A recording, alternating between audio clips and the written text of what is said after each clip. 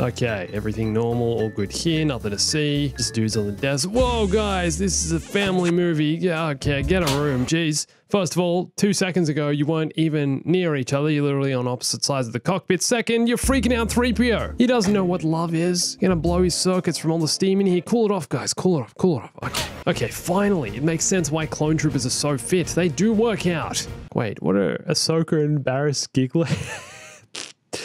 kind of inappropriate from two Jedi Padawans, isn't it? What are you guys doing? Come on. Anakin and Luminara even have to get them to stop. Guys, come on. Grow up. Lots more videos on the main channel. Go check it out. Link down below.